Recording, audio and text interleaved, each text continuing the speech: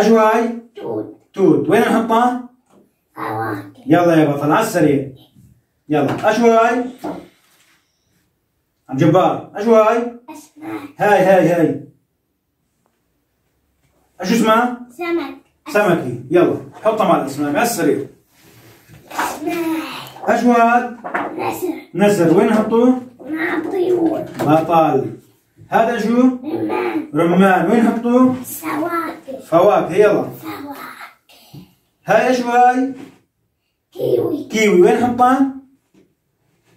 وين نحطها؟ فواكه يلا مع الفواكه هاي شو؟ سمك سردين سمك السردين وين نحطوه؟ ها؟ وين نحطوه يا بطل؟ بطل هاي شو؟ يلا هاي شو؟ بطة بطة وين نحطها؟ مع بطل يلا هذا شو؟ طاووس طاووس وين نحطوه؟ مع طيور بطل يلا هاي شو؟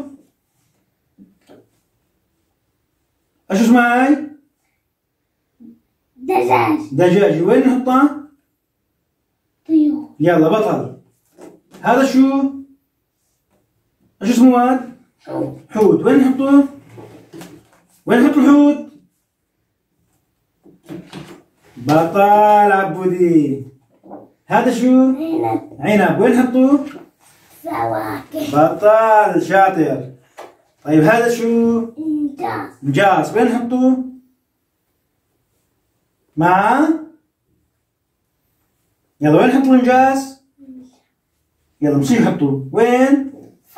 بطل. يلا.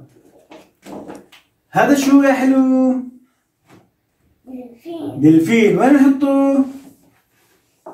يلا وين نحط الدلفين؟ مع أسماك. بطل شاطر. يلا. هذا شو؟ حمام. وين نحطه؟ مع طيور. طيور. بطل. طيب هذا. كرز وين فواكه بطل طيب هذا شو هذا؟ إيش اسمه هذا يا حلو؟ صقر. صقر. وين نحطه؟ مع صقر. وين نحط الصقر؟ طيور. طيور. بطل بحب التصفيط على الجبار. هذا شو؟ عصفور عصفور وين نحطه؟ مع طيور طيور بطل هذا شو؟ أفقاد وين نحط الافوكادو؟ فواكه بطل شاطر يلا هذا شو؟ ببغاء ببغاء يلا وين نحطه؟ مع مع مين؟ وين حطينا الببغاء؟ مع حطينا الببغاء مع طيور. طيور. أشواد موز. موز. وين نحط الموز؟ فواكه. فواكه بطل. هذا شو؟ ديك. ديك. وين نحطه؟ الطيور. مع الطيور بطل. هذا شو؟ طائر هذا شو؟ وز وزي. مع؟ نحطه مع؟ طيور بطل أعطيني بوس يا شاطر يلا بطل. السلام عليكم ورحمة الله تعالى وبركاته. كيف حالكم أخوتي أخواتي أهالي أطفال التوحد؟ أتمنى من الله أن تكونوا أطفالكم بأفضل حال وتحسن مستمر إن شاء الله. اليوم سنكمل ما بدأناه معكم في مقطع فيديو سابق وسوف أضع لكم رابطه أسفل هذا الفيديو وهو متعلق بعملية التصنيف حيث شاهدنا كيف استطاع طفل عبد الجبار بفضل الله سبحانه وتعالى أن يستطيع التصنيف بين أنواع الخضار والحشرات والحيوانات؟ آه، لا تنسوا سأضع لكم رابطه أسفل هذا الفيديو لمن فاته مشاهدة آه، هذا الفيديو. والآن قد شاهدتم كيف استطاع طفل عبد الجبار التصنيف بين أنواع الأسماك وأنواع الطيور وأنواع الفواكه. كل هذا بفضل الله سبحانه وتعالى ثم التدريب الصحيح. طريقة التدريب الصحيحة لها يعني أهمية كبيرة جدا جدا في إيصال المعلوم بالشكل الصحيح إلى الطفل لكي لا يستطيع نسيان هذا الشيء لكي دائما يضعه في ذاكرته ولا ينساه. أما إذا قمنا بتدريب الطفل بشكل عشوائي وبشكل يعني غير مفهوم إليه وبأسلوب خاطئ لا يعتمد على الفهم. حتى لو قام طفل التوحد بحفظ هذه المعلومات سينساها بعد فترة بسيطة. أيضا الاستمرارية بالتدريب مع الطفل له أهمية كبيرة جدا في تعليم طفل التوحد وتنمية مهارات هذا الطفل.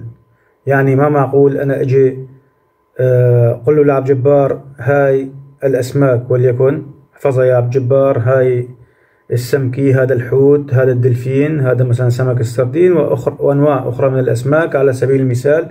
وأقف عند هذا الحد هذا الشيء خاطئ. آه لكي لا يستطيع عبد جبار أو لكي لا ينسى عبد جبار هذه المعلومات يعني أقوم دائما بالاستمرار معه في تنمية هذه الأسماك. يعني على سبيل المثال سمك السردين. آه كنت آتي له بعلبة سردين من الدكان وأقول له يا عبد جبار هذا سمك السردين بنعمل فيه بنصنع فيه السردين. أطور له هذه المعلومات بشكل مستمر. أيضا هذا الحوت آتي له بكرت كبير للحوت وبعض المعلومات الأخرى عن الحوت وأقول له هذا الحوت حجمه كبير وبيأكل أسماك وبيتغذى على الأسماك يعني بشكل وأسلوب يعني جيد جدا ومقرب إلى مخيلة الطفل. لكي لا ينسى عبد جبار هذا الشيء. أيضا بالنسبة للدلفين على سبيل المثال يعني أقوم بسرد بعد بعض المواصفات عن الدلفين. هذا الدلفين دلفين أليف أعلمه لعبد جبار. يعني ما معنى كلمة أليف؟ بيسبح مع الناس. يعني أقوم بسرد بعض المعلومات عن الدلفين لطفل عبد جبار. كما قلت لكم أتبع الأسلوب يعني الصحيح معه لكي لا ينسى عبد جبار هذه المعلومات. أيضا كنت أستخدم نفس الشيء بالنسبة للفواكه.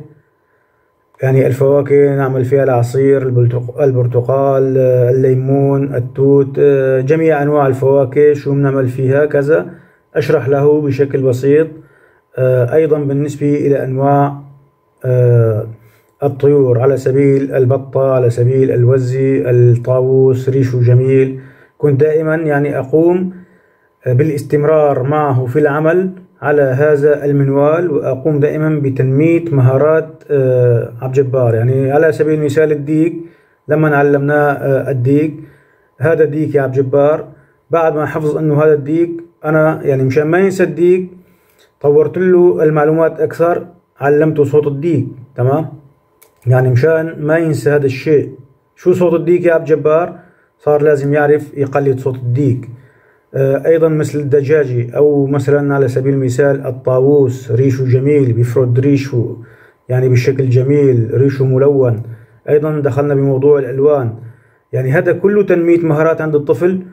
نستفيد منه كثيرا. يعني بنفس الوقت ننمي مهارة الطفل والشيء الأهم أنه لا ينسى الشيء الذي أخذه في السابق. يعني المعلومات التي أخذها في السابق لا ينسى. هذا الشيء مهم جدا جدا يجب أن ننتبه عليه كأهالي لطفل التوحد. يعني أتمنى منكم كأهل لطفل مصاب باضطراب طيف التوحد أن تركزوا على هذه المعلومات جيدا. بالإضافة إلى المعلومات التي ذكرتها في فيديو الرقم واحد التصنيف لكي طبعا لا أطيل عليكم. يعني لو جمعنا بين المعلومات في المقطعين لوصلنا إلى يعني طريقة تدريب صحيحة للطفل تكون نتائجها جيدة جدا ورائعة جدا كما شاهدتم في مقطع الفيديو.